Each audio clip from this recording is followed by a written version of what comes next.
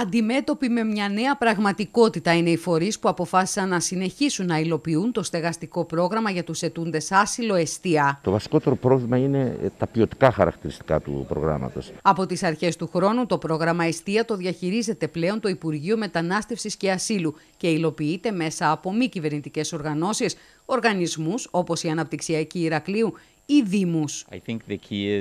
Αυτό που έχει αλλάξει είναι η επιχειρησιακή ικανότητα. Το κράτος πια που έχει πολύ μεγαλύτερη επιχειρησιακή ικανότητα ε, από εμάς έχει τη δυνατότητα όχι μόνο να υλοποιήσει το πρόγραμμα εστία, αλλά και να το διασυνδέσει με τις απαραίτητες υπηρεσίες που ανήκουν στην αρμοδιότητα άλλων Υπουργείων πέραν του Υπουργείου Μετανάστευσης και Ασύλου. Τους πρώτους τέσσερις μήνες, τα προβλήματα με την καταβολή των ενοικίων αλλά και τη μισθοδοσία εκατοντάδων εργαζομένων ήταν τεράστιο. Όπως κάθε μετάβαση, έτσι και αυτή έχει τις δυσκολίες της, τις προκλήσεις της και την ανάγκη προσαρμογής.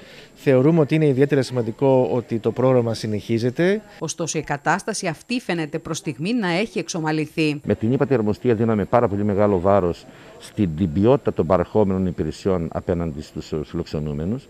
Μια παροχή υπηρεσιών που μας βοηθούσε να είμαστε κοντά σε αυτούς και έτσι μπορούσαμε και προλαβαίναμε θέματα, πράγματα, γεγονότα στις γειτονιές, στις πόλεις τι εννοείτε για τις υπηρεσίες, Θέλετε να μου πείτε ένα, ένα παράδειγμα για να καταλάβω ποια, ποιο είναι παράδειγμα κακής υπηρεσίας, ας πούμε, ή ελλειπούς υπηρεσίας; Ο κόσμος ο οποίος έρχεται εδώ είναι οικογένειε. Η οικογένεια, όταν την εφέρουμε σε μια πόλη να εγκατασταθεί, θα πρέπει να προσαρμοστεί. Πρέπει να μάθει που είναι το σούπερ μάρκετ, πρέπει να μάθει που είναι το φαρμακείο, πρέπει να μάθει που είναι οι υπηρεσίες. Αυτό το πράγμα το κάνουμε με συγκεκριμένα άτομα.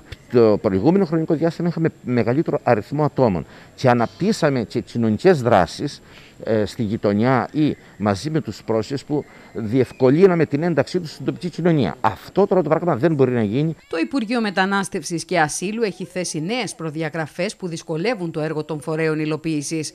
Ο έως και τριπλασιασμός των φιλοξενούμενων αναδιαμέρισμα με παράλληλη μείωση κόστους αναφιλοξενούμενο στο 30%, η μείωση προσωπικού και μισθών και η μεγάλη αύξηση του φόρτου εργασίας έθεσαν σε κίνδυνο τη φιλοξενία σε επίπεδο χώρας περίπου 18.500 ανθρώπων. Το πιο σημαντικό στοιχείο, και αυτό διατηρείται και με το καινούριο πρόγραμμα, είναι ότι οι αιτούντε άσυλο ε, μένουν κάπου και αυτό το κάπου είναι μέσα στον αστικό ιστό, στο πλαίσιο της κοινωνίας. Το μεγάλο αγκάθι πάντως είναι το ζήτημα της διαχείρισης όσων το αίτημα παροχής ασύλου απορρίπτεται, καθώς αφενός δεν υπάρχει μηχανισμός για την απομάκρυση των ανθρώπων αυτών από τα σπίτια τους. Και αφετέρου το κόστος της παράτασης της παραμονής τους χρεώνεται στο φορέα υλοποίησης, γεγονός που θέτει σε κίνδυνο ολόκληρο το πρόγραμμα καλούμαστε όλος αυτός ο κόσμος ο οποίος είτε ε, έχει άσυλο είτε δεν έχει άσυλο να τον διαχειριστούμε και να φύγει από το πρόγραμμα. Το να φύγει από το πρόγραμμα βέβαια είναι σωστό. Αλλά ε, τι γίνεται όμως μετά; Με την ύπατη είχαμε ένα μεγαλύτερο χρονικό διάστημα, διαχειριζόμαστε καλύτερα τα θέματα και έτσι υπήρχε μια πιο ομαλή ένταξη ή μια πιο ομαλή ε, πορεία προς την Ευρώπη.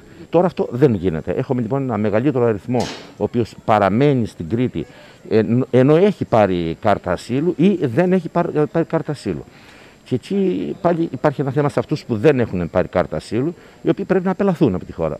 Ποιος όμως θα τους απελάσει, Δεν υπάρχει τέτοια διαδικασία. Μάλιστα, ο διευθυντής της Αναπτυξιακής Ηρακλείου κατά τη διάρκεια συζήτησης που είχε με δημοσιογράφους στο περιθώριο των εκδηλώσεων βράβευσης των φορέων της Κρήτης από την ύπατη αρμοστία για την εξαιρετική διαχείριση του ζητήματος των προσφύγων, έδωσε άτυπα προθεσμία έως τις 30 Ιουνίου για να δρομολογηθεί λύση σε σχέση με αυτό το πολύ κρίσιμο ζήτημα. Εάν είναι και παραμείνει έτσι, εμείς ναι τον στηρίζουμε, τον επαραγωθούμε, αλλά δεν μπορούμε να το κάνουμε αυτό για ένα χρονικό διάστημα πάνω από δύο μήνες.